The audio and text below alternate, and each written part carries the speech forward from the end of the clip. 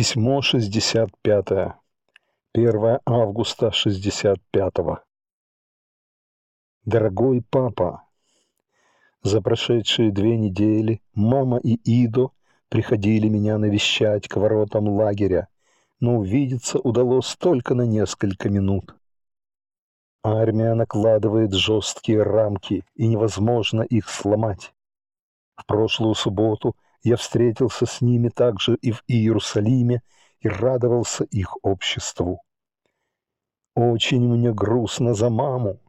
Ей так редко удается со мной видеться, что сердце болит каждый раз, как мы с ней прощаемся.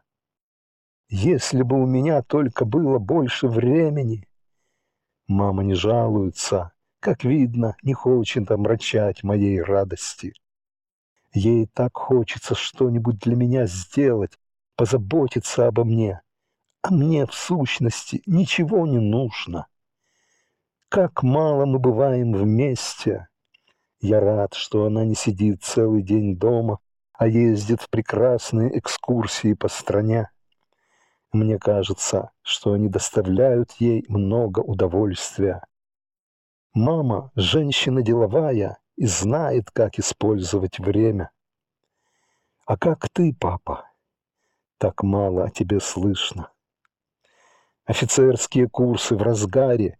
По сравнению с моей предыдущей частью, физическое усилие равно почти нулю. А некоторые считают, что и это усилие все равно усилие.